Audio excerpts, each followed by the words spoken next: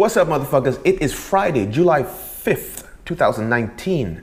So I want to wish you happy Friday. Of course, all of you in the States, I want to uh, wish you a happy 4th of July. I hope you had a happy 4th of July. Had fun at your barbecues and your cookouts and your, uh, you know, hanging out with your beers and your best friends. And of course, if you managed to make it downtown to Trump's uh, Salute to America, um, I hope you enjoy the festivities at the mall or wherever in DC that you did celebrate. So let's get right to it. The big topic in the news, of course, is Salute to America, Trump's military parade, Trump's DC parade. So um, let's get it, give it some background. So you know, this is the first military parade in, in DC for many, many, many, many, many, many, many, many, many years. Um, and uh, this is the first time that a, a, sitting U.S. president got himself involved in the Fourth of July uh, festivities in such a prominent and, and, and central way, right? Um, Usually a president would go out of town and, and, spend time with the family or go back to his hometown or go to his vacation house or whatever. So, but Trump stayed in the city, um, hung out. So yes, let's give you some background. So we got to blame Macron, right? Blame Emmanuel Macron, the French. Blame the French, those bastards, because they're the ones that put this, this idea into Trump's head, right? So Trump, a few years ago, went to visit Macron in France. And on Bastille Day, which is the French sort of Independence Day, you know, uh, Macron impressed Trump with a big military-style parade, you know, celebrating French independence. And I guess, I, I guess Trump got a big heart on, right? So he's like, God damn it, this dude Macron is outshining me, man. He looks better than me. He's younger than me. He's more sophisticated than me. His wife is older than mine. But I think I can outdo him. So he goes back. And of course, coming back from the G20, you know, he's talking to his boy Putin and his boy Kim, and he's like, man, you guys doing it big time over there with the military parades, man. Your people love you and they fear you, right? How can I get down with that? So Kim and you know Kim and him whispered. That's really the reason, the real reason he went to North Korea to get some you know inside dirt, inside dish. You know how to do it, how to do it big like Kim and the boys, right? So came back to the states, told his generals, "Hey, Pentagon, I need some tanks, brother. I need some tanks on the mall. I don't give a shit how you get them there. Bring them there. I want them rolling down Pennsylvania Avenue, rolling down Georgia Avenue, rolling down 16th Street. I want them all over the states. You understand? So I guess I gotta get some bombers too. Give me some B-52s. Give me some stealths. Give me some F-35s. Okay. If the Wright brothers are still around, tell them bring their ass down to DC. We need them. So Trump got his bombers and his planes and his tanks and his bombs and everything, right? So he wanted little little big man Trump, right? Little big man Trump wanted to show the world all his soldiers and his tanks and his planes and his bombs, and um, he did that. It was it was uh, I guess a um, a celebration of American history and American military power and pride. So uh, there was a little rain. There, you know, this sorry to dampen your parade. Sorry to rain on your parade, Mr. Trump, but there was some rain in this parade. Um, so he had he had um, he had some rain, so it didn't come off as good as, as he wanted it to. He, he, had a big speech, um, which he sold tickets to, or did he give tickets to? Uh, there was anyway. There was a VIP section right in front of the stage where he was giving a speech that was only for Trump supporters and Republican National Committee donors and members. Right. So if you weren't down with the with the good old boys, you wasn't you wasn't gonna get a front row seat. Anyway, so he had a little. He made a little speech. He actually. Uh, you know, was, was crediting the, uh, the power and the, and the, the strength and the history of, of the, Re- the Republican Army, uh, sorry, the Revolutionary Army, uh, you know, George Washington's boys, right? And he was talking about how they, they were so successful in the, um, you know, their military campaigns and capturing land and territory and securing airports and, and, and you know, and winning against the, the British. But then we have to realize it's like, but Mr. President, you know, the Revolutionary War was about 1776, wasn't it? Around that time. Um, I don't think there was any airports there. I don't think. I mean, there wasn't any planes, so there might have been airports, but no planes, right? So maybe there was airports, but no planes. Anyway, Trump, you know, maybe he got some info, information. Maybe he knows, you know, secret JFK files also told him some shit that, yeah, man, we had some airplanes back in the day, but we didn't let of people know, right? Anyway, so yeah, he had a little little slip step. According to uh, Raw story, the cameras at the mall were conveniently turned off. I guess he was trying to preempt, you know, the. Uh, the, the inauguration crowd size fiasco. So he was like, you know what? No one's going to question my crowd size because I'm just going to take the cameras off. So whatever I give them, that's what they're going to have to drink. Okay, so let's go, let's see what the crowd size is, the crowd size for his event is going to look like now that the media and everything, you know, after the after uh, after effect is going to happen. Anyway, so um, fireworks were canceled uh, after this. Is, this is even after a a private donor, a private Trump supporting donor, donated $750,000 worth of fireworks to, to the event. For nothing, it was canceled, the fireworks was canceled, boom. Uh, because I guess because of the weather. And the last thing I have to observe, not the last thing, but a very important observation. Apparently, Melania Trump needs to learn how to wear a bra. Just look at the photo. And that's all I'm going to say about that, right? So some of the critics, what are the, what are the haters talking about? What are the Trump haters talking about? Those, those, those goddamn Trump haters. Guy, guy can't do nothing right. You could find a cure for cancer, they'll still find a fault in it. So what does what do the critics, the haters, the naysayers, the, the contrarians say about old Mr. Trump and his, his big bash? Um, they're saying that it's a 20, it's, it's a taxpayer-funded campaign rally. Uh, the cost is rumored to be upwards of 92 million, with 2.5 million, as an example, coming from the National Park Service. So money that was supposed to be going to pay for national parks and, and, and pay for the, uh, the environment and protection of the environment went to Trump's, uh, Trump's rally. Uh, some are saying that it made DC look like the Red Square, Kremlin, uh, or Pyongyang, North Korea, which is notorious for, you know, these type of military style parades and, and, and, and shows of force, right? Um, you know, celebrating the, celebrating the military when he didn't even serve in the military. He got an exemption for bone, bone spurs, which his doctor came out recently a few years ago and said it was bullshit. Um, the doctor made up the, the, the, bone spur diagnosis to get him out of serving in Vietnam. Uh, so he's, he's celebrating the military. He's not a military man. He speaks badly and poorly and, and insults military men like John McCain. And then, of course, his generals. So his generals didn't attend the event because they don't agree with, you know, having the military being used as a campaign a rallying tool. And of course, uh, his, he has a history of generals leaving his administration, right? So, uh, you know, um, his, his Secretary of Defense, um, uh, Admiral McRaven, a lot of a lot of high-ranking military officials that were part of his administration have resigned over their disagreement with him or their, their, their feeling that he's, he's inept and he has no ability to run the country, uh, much less the military, right? So he's got a lot of hate. He's got a lot of hate from the generals as well, um, as well as the media and, and the haters. Um, um, Fox News is calling those generals snowflake generals. Imagine that. These are Korean military men that have served their country their entire lives, and Fox News is saying that these guys are snowflake generals because they disagree with Trump. So, so another thing that's happening this week uh, that we're all excited about is the uh, the premiere of the third season of Stranger Things, right? So all of us that are big fans of the show, um, just the first, well, the season just launched uh, this this weekend um, on Thursday, so we've got the long weekend to sort of binge on it. I haven't started watching the first uh, episode as yet, but before I do, and I will be giving my opinions and my thoughts on the show um, as I watch the third season, but just want to talk about Stranger Things in general. Um, yeah, wh- what is Stranger Things? You know, so people who aren't familiar with the show, like, what is the show about? So the show is about. Well, first of all, the most important thing, um, and I'll get to that later, is that the show is set in the 1980s, uh, a very important time that is critical to the show, a very important uh, time period in, in, in, history that really plays a big role in the show and why it became so popular, right? So the show is about a group of kids um, that uh, have some weird adventures, stranger things, right? So something happens to one of them I won't spoil it too much for people who haven't watched the show. Maybe maybe they want to catch up on the first two seasons um, before they watch the, the, third season this weekend. So yeah, it's about th- a group of kids, group of best friends. Um, one something happens to one of them, something very strange happens to one of them um, that brings the other groups, uh, the other friends together in trying to find him. Um, and then there's other people. It's a small town. It's a story set in a small town, so you have that small time term, uh, small town charm um, going for it. So yeah, they, they come together. They try to find him. Uh, they encounter another, a little girl who also has a strange story about her, who's related to everything else. Um, and they, they sort of bring her into their friendship, and she becomes part of the story as well, important part of the story, and part of their little group, little, little friends. Um, so yeah, that's basically what the story is about. Kids growing up in a small town. Going through their regular things, going up, uh, you know, being friends, being being children, and then encountering some strange things happening. So, why has the show become such a pop cultural phenomenon, right?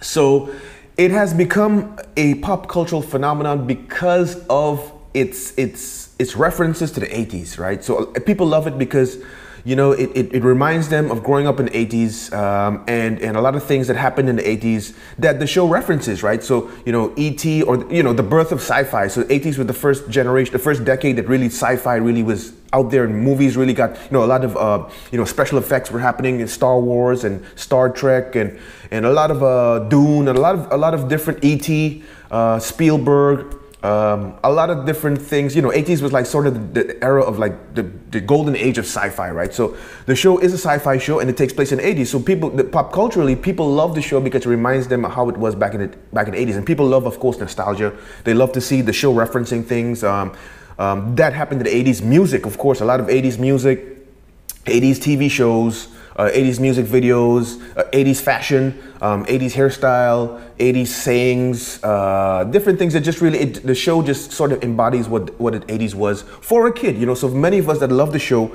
um, you know, we love it because it reminds us of, of growing up in the 80s, you know. So like, you know, we, most of the people, you know, that are at the age in their 30s and their 40s.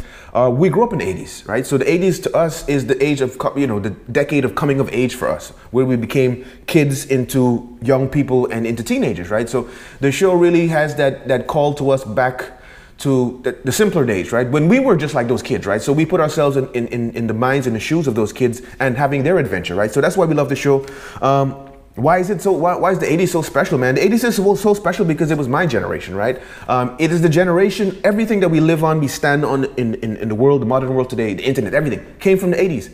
The children of the 80s shaped the world we live in, right? The 80s was the first generation to have like TV, you know, in every home in terms of like around the world uh, and, and, and like TV, in terms of TV shows, right? So in the 70s, uh, but the 80s was really the golden age of television shows and American television shows, right? And, and, and serials and sitcoms and, and, and those type of shows, right? Um, it was the first uh, decade of music videos. So like it was the birth of M- MTV, right? So music was boom and the fashion and everything was right on TV as well, right? Uh, video games, it was the first uh, generation of video games. So all the video games that's going on right now, PlayStation, Xbox, everything of course, in the, in the 80s, we had the Commodore, we had the Ataris, we had the Sega Master System, we had Nintendo, the first Nintendo. All of that stuff started in the 80s, right? So, um, computers, the first computers, right? Started in the 80s. So now we're walking around with cell phones and everything, and we got pow- more powerful computers in our palm of our hands than we did in the 80s, right? But all of that came from the 80s. So we are the 80s planted the seeds that we are now reaping in the modern world, right? So that's why people love the 80s. That's why I love the 80s. That's why I love the show, right? So what makes the show so appealing to millennials? Of course, the 80s people that grew up like me grew up in the 80s and the 90s, and you know we love it because it reminds us of being of being you know young. But why do millennials love it? Why why why is the show such a big hit even for millennials? Well, I think you know it shows the commonality of of just being kids, right? Having that that that that innocence and that that uh, you know that that yearning for adventure and independence, right? So, you know, when you're a kid on that at that age, you're, you're 10, 11, 12, the same age around as the kids in the show, you do want independence, you do want adventure, you are living in your own sort of fantasy world. Um, you're dealing with the realities of real life, you know, growing into an adult and, and having that friction between being a kid and being an adult, right? And having uh, people around you that maybe doesn't understand what being a kid is. We all we all went through that. You know, being a kid is, is kind of tough, right? Um, so you know that's why that's why I think the connection is there with millennials. Um, the good thing is that I also see is that a lot of the millennial parents are from the 80s, right? So they've got you know you've got people in 40s whose kids are in are you know in their teens or you know below 10.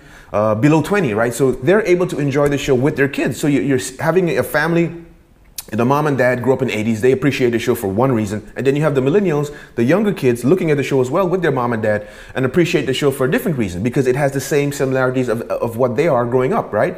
Um, and and you know it's a coming of age tale. It's growing up in a strange world. Um, you know it's it's so symbolic of, of of that journey you take as a child into becoming a, a, a young adult right so those are the things that are there for Stranger Things. So like I said, I can't wait to see the, the, new season. I'll be talking more about you know my feedback, my personal you know opinion of the of the new season as well as how it makes me feel. So I hope you enjoyed. I hope you binge this weekend on the. If you haven't seen the previous episodes, previous seasons, go out and check it out before you watch the new season so you get caught up on everything. So that's it. Hope you enjoy uh, Stranger Things season three this weekend. Another big story that's going on in the world of sports is that Kawhi Leonard maybe actually joining the Lakers, right? So I'm gonna call bullshit on that. I'm gonna call bitch move on that because I believe that is the worst move that you could do, Kawhi. You can stay in Toronto and continue building your legacy there. You won a championship, you carried a whole team, you carried a whole country, took them to the finals, won a championship, won finals MVP. You got a whole country, right? So they're offering you everything you want. You got LA Clippers, your hometown team, that you can go and you can also start building your legacy there. You can get your number retired if you work hard and you win a championship there, right? You got a whole organization, you got the richest owner in sports, you got one of the best uh, coaches, top five coaches in sports, you got a great city, your hometown. So you want to leave your, your nest egg, your golden goose in Toronto. You want to ignore the courtiers, the suitors in LA, uh, the LA Clippers, and then when you go, you want to go play third fiddle to LeBron and Anthony Davis in LA. That would be the biggest bitch move. Bigger, bigger bitch move than LeBron going to, to Miami to join Dwyane Wade and, and Chris Bosh and winning a championship. I just saw no problem with that. Bigger bitch move than KD join, leaving Oklahoma and going to uh, Golden State and joining Steph, Clay, and Draymond. Bigger move than that. I didn't see a problem with that. I see a problem with this because you're leaving a championship team. You won a championship last year. It's not like you lost and you failed and the team fucked up and you and they suck. They won. They won your championship, right? So if you're gonna leave, the only place you should leave to is your hometown, LA. Yes, but to the Clippers, right? So you can you can be your own man. Why would you be the number three person on the team when you could be the number one person on the team? You don't need them. You already proven to you have proven to the world that you can do it on your own. So go to LA, do it on your own. If you go to the, the Lakers, you're a bitch, you're making a bitch move. I know you don't look at social media, I know you probably won't see this, but maybe one of your friends do, or you're one of your boys do. And if you do, please tell Kawhi that Guerilla Mike said you a bitch. If you go to LA, it's a straight up bitch move, and Guerilla Mike will be talking about you all season long. So Kawhi, if you go to LA, you know what Guerilla Mike will say? Go fuck yourself. Also in the news, uh, some interesting stories from around the world, I guess. Uh, Alaskan heat wave. So Alaska, the last place on Earth that you would think would be going through a heat wave, they have been going through a heat wave for all of June, all of July. They've had record-breaking temperatures every day for Independence Day 2019. Yesterday, July 4th, Anchorage, Alaska hit 90 degrees Fahrenheit. 90 degrees Fahrenheit. There's a big risk of, to health, of course, and especially the environment. A lot of uh, chances for wildfires, especially with these idiots with fireworks going off for uh, 4th of July weekend. And then, of course, melting uh, the, the, sea ice, right? So the, the, the sea cannot produce ice because the temperatures are so hot. So there's no sea ice. Uh, in June, 60 dead seals washed up in Alaska. Um, scientists don't know why. They were skinny. They had no hair. Um, they're speculating that it might be because of the lack of sea ice. They had no place to rest. Of course, seals are out hunting in the open ocean and they depend on sea ice to be able to get up on shore and rest, um, have their pups um, escape predators. So the, the, the, heat wave, although we might look at it as a funny story in Alaska, seeing people in Alaska in bikinis or you know getting suntans, it does have a, a damaging effect on the environment. And this gives as, this is another piece of evidence to show how much the, the, the, climate is changing, right? So you know, prayers with you guys in, in, in Anchorage, Alaska. Enjoy the weather, but but remember, uh, this is not natural. Uh, another strange story coming from Russia. Wow, a conspiracy story, straight up for, ready for you conspiracy theorists out there. So apparently, there was a fire on a secret Russian nuclear deep sea sub. Um, secret Russian nuclear uh, deep sea sub killed it killed 14 people, including this is the important part. So this is the secret nuclear uh, sub, deep sea sub, had a had a strange fire, um, killed 14 people, 14 sailors, including seven of Russia's top submarine captains or, or, or officials, two of which received Russia's highest military honor. So this is uh, the cream of the crop of, of, of Russia's uh, Soviet, uh, uh sorry, uh, of Russia's submarine fleet, right? So 14 of them died, seven of them of the big dogs, and two of them were the really, really big dogs, right? So we don't know what they were doing. Putin, um, he describes this, this is his words, quote unquote, Big loss. Putin says this is a big loss. This is not a regular vessel. You and I know this. So Putin is saying this is not a regular vessel. You and I know this. Uh, this this uh, deep sea diving vessel that is capable of diving uh, up to 20,000 feet or more um, belonged to Kremlin's Directorate of Deep Sea Research. Apparently, it was on a secret uh, experiment, secret mission, doing something, um, experimenting maybe with some undersea weaponry, and something bad happened and you have to understand why were seven of the top guys in the Russian uh, Navy submarine, why were they on board that one ship? This is uncalled. You know, this, is, this doesn't happen. You don't put that amount of brass on one ship unless it was a big deal, right? So they were there. It was a big deal. Something big was going down. An accident happened. Fire started. They surfaced. People died, right? So, you know, for you conspiracy theorists out there, uh, another thing that's going on in the news, um, this is an interesting story. A woman in Texas is facing 20 years in jail for going into a Walmart, opening a tub of ice cream and licking it, then closing it back and putting it back, right? Now, what type of fucking idiot leaves their house at 11 p.m. at night to go down to the local Walmart to do stupid shit, right? If you want to do stupid shit late at night, go down to the local train yard, find yourself a nice uh, parallel train track, a nice steel uh, iron train track, lay down on it till you hear some some rumbling, some shaking. You're gonna feel some shaking, and uh, whatever happens, don't move, and just lay down on that goddamn train track until that that that noise passes, right? And that's gonna be doing you and the whole world a favor, okay? So yeah, she's facing 20 years for a second degree felony of tampering with a consumer product. So if you go to a store and you see food on the shelf, you see drinks or whatever, things that people have to eat, and you open it up and you do stuff to it, you're tampering with food. You're tampering with a consumer product. You will go to jail and you will face a fine of up to 10,000 US dollars. That's what she's facing. This idiot from Texas right? So the video is out. I'll put a link to the video in the description. You can see it for yourself. If you know her, turn her ass in. I can't wait till they, they find her and they turn her in. We can see her on the news walking down looking like an idiot. You're gonna go to jail maybe for 20 years. You you ruined your life in terms of the money you're gonna have to spend on, on lawyers and all of that shit. And you're gonna be on social media and you're gonna be a laughing stock all to make a stupid point. And you got some idiot with the camera. Um, instead of telling you to stop and hey, behave yourself, you're doing stupid shit. He's like, go ahead, do it. I'm gonna get some views on YouTube or wherever the hell I'm gonna post this video. And that's what happened. And now you're getting posted. You are getting a lot of likes um, on the uh, police bans. They got an APB out for your ass. So once again, um, to the woman who licked the tub of ice cream in Walmart in Texas, Guerilla Mike says you can go fuck yourself. So that's it for me, guys, uh, for the week. I hope you enjoyed your week. You had a great um, holiday weekend coming, coming, um, coming up. Enjoyed your Fourth of July. Uh, enjoyed your week of, at work if you're not in America. Um, have fun this weekend. Friday, have, hang out with your friends, drink some beers. Um, don't forget to subscribe to the motherfucking channel. Right? Hit that bell so you get all my notifications. And most importantly, if you don't like my video and you don't like my views and opinions and like what I have to say, then you can go Fuck yourself. This is your boy Guerilla Mike. I'm out.